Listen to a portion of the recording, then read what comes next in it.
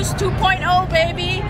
Uh, we, I'm not in my outfit anymore, which is too bad, but we were dressed like geese, like goslings, and we were dancing around to lose as a goose. And basically, we were the first ones to go in our craft.